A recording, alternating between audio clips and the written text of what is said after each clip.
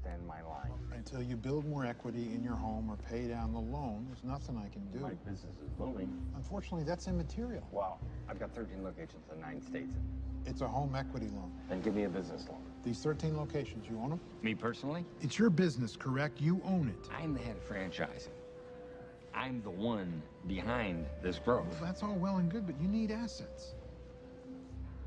Have you been to a McDonald's? Because we've got three right here in the Chicagoland area. You should come by and take a look. No, I would love to give you a tour, give you a better sense of what I'm talking about. Thank you.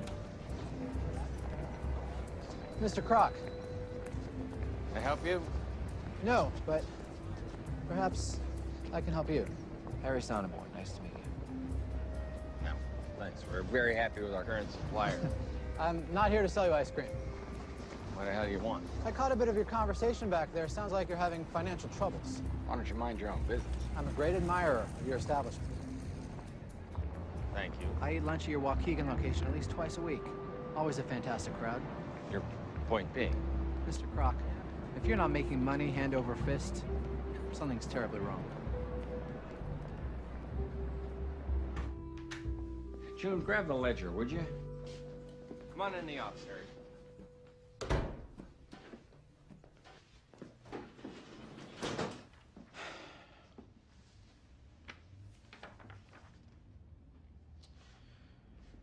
So, to summarize, you have a minuscule revenue stream, no cash reserves, and an albatross of a contract that requires you to go through a slow approval process to enact changes, if they're approved at all, which they never are. Am I missing anything? That about sums it up. Tell me about the land. The land. The land, the buildings, how that whole aspect of it works. Oh, pretty simple, really. Franchisee finds a piece of land he likes, gets a lease, usually 20 years, uh, takes out a construction loan, throws up a building, and off he goes. So the operator selects the site. Yeah, He picks the property. right. You provide the training, the system, the operational know-how, and he is responsible for the rest. Mm, is there a problem? A big one. You don't seem to realize what business you're in. You're not in the burger business. You're in the real estate business. You don't build an empire off a 1.4% cut of a 15 cent hamburger.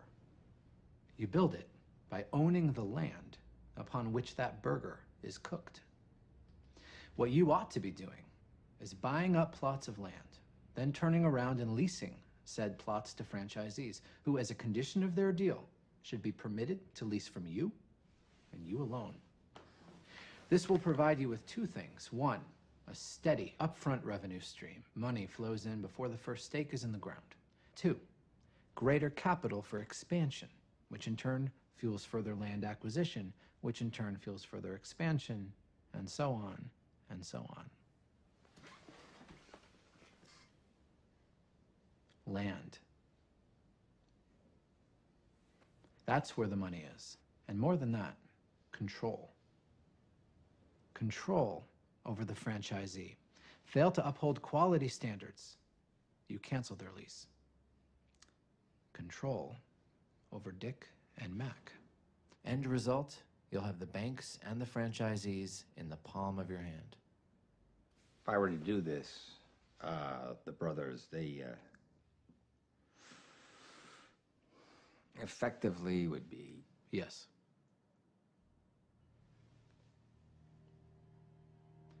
So, what do you say, Ray?